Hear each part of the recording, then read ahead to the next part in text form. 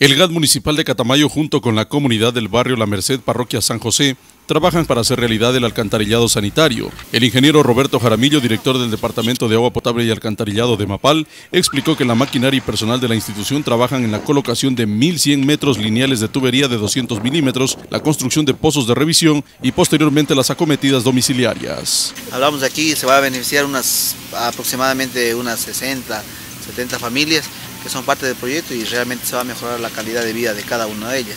El personal de la municipalidad trabaja en dos frentes durante tres fines de semana.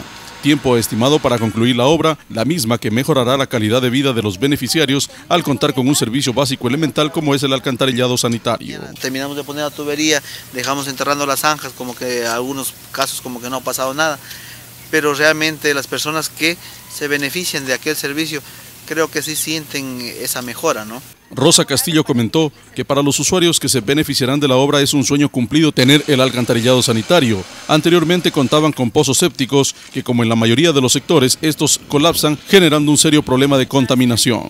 Tenemos que ser conscientes que tampoco puede darnos el municipio todo porque no hay presupuesto. Las obras son las que hablan por sí solas. Ahí están las constancias que nos está ayudando ella. Para Mireya Alvito, beneficiaria del proyecto, es más rentable que los usuarios aporten económicamente para contar con el alcantarillado sanitario, obra que es la solución definitiva, que hacerlo para continuar con los pozos sépticos, los mismos que duran pocos años. Eh, que es el esfuerzo de toda esa gente y me alegra mucho por ellos para ver que, eh, que este servicio básico llegue a sus casas. Para el informativo Acción Municipal, Eduardo Valdivieso.